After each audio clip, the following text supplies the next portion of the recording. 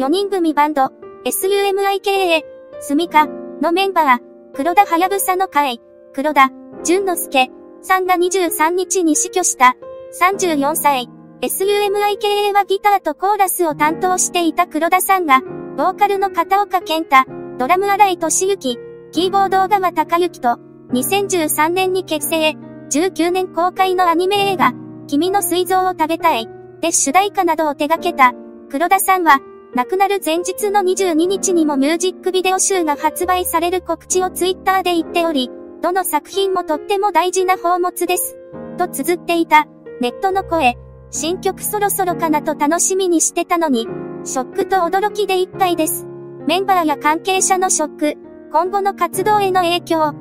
大変だと思いますが、また SUMIKA の楽曲が聴ける日を心待ちにしています。黒田さんのご冥福をお祈りします。つぶやくように思ったことを書かれてるのかなと思う書き込みを見かけますが、人が亡くなっています。悲しんでる人がいます。一度読み直し、考えてからご投稿いただけないかなと思います。別に実施だとしてもそれはそれで公表してもいいと思うんだけどな。前日 SNS 更新してるなら基本そうだろ。放棄にしても交通事故とかにしても公表するだろ。変に濁らすから様々な憶測を呼ぶ。最近、亡くなる話を聞くと何とも言えない気持ちになるし、まともに受け止めてしまい、涙が出てしまいます。生きてるだけで丸儲け。若い人がそう思える社会